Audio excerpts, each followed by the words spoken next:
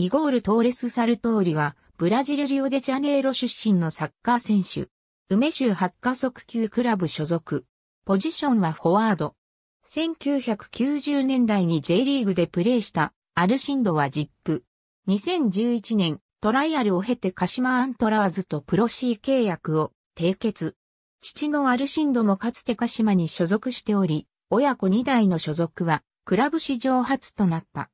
同年6月に鹿島サッカースタジアムで行われた震災復興チャリティイベントスマイルアゲン、エールフロム鹿島に参加し、アントラーズレジェンズのメンバーとしてアルシンドとの親子にトップが実現した。2012年1月、契約満了により鹿島を退団。